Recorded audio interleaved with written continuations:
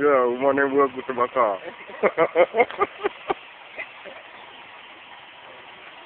Banyak pokok dalam rumah. Hmm.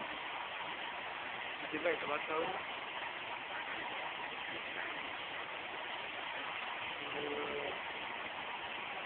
Tahun ni dua kali pembedasan ke